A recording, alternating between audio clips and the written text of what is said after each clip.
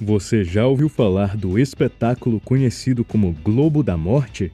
Ele é bastante comum em apresentações de circos e é caracterizado por algumas pessoas pilotando motos e fazendo movimentos diversos dentro de uma esfera fechada de metal.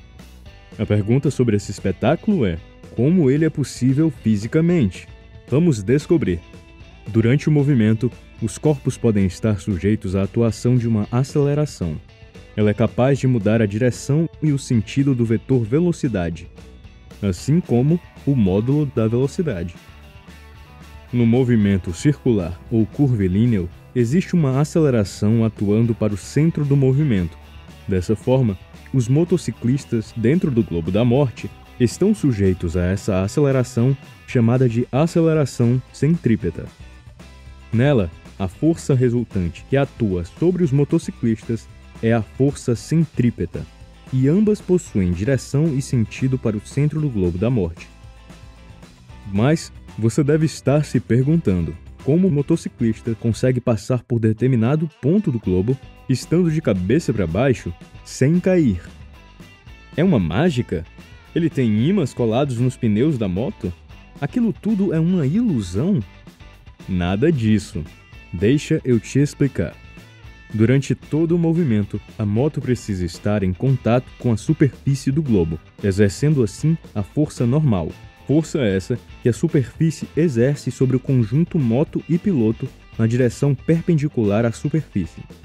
Porém, no ponto mais alto da trajetória, tanto a força normal quanto a força peso estão direcionadas para o centro do globo. Por isso, podemos interpretar matematicamente que a força centrípeta é a força resultante da soma da força-peso com a força normal.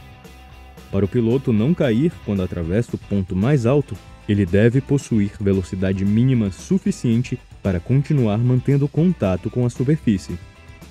Essa velocidade mínima que ele deve adotar é dada em função da raiz quadrada da aceleração da gravidade no local vezes o raio do globo da morte.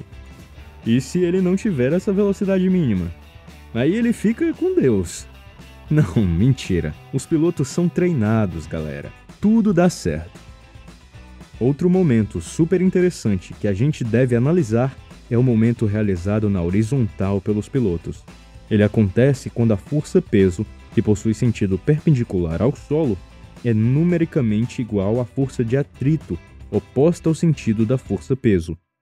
Para isso acontecer, a superfície deve ser áspera, Aplicando aqui uma relação matemática, conseguimos identificar que a velocidade mínima na horizontal para que o motociclista não deslize no movimento é dada em função da raiz quadrada da aceleração da gravidade vezes o raio do globo, ambos divididos pelo coeficiente de atrito da superfície. Quando a velocidade desenvolvida pela moto é mínima, a moto está na iminência de deslizar, fazendo o coeficiente de atrito estático assumir seu valor máximo, Tá pensando que estar naquela moto é moleza? Não é não. Para finalizar, é importante lembrar que quanto maior o número de motos dentro do globo da morte, realizando movimentos simultaneamente, mais arriscado é o espetáculo e maior deve ser o raio do globo. E quanto maior o globo, mais eletrizante, agoniante e instigante é o espetáculo. Essa é a verdade. Deu para entender tudinho sobre a física desse espetáculo? Espero que sim. Até a próxima, galerinha.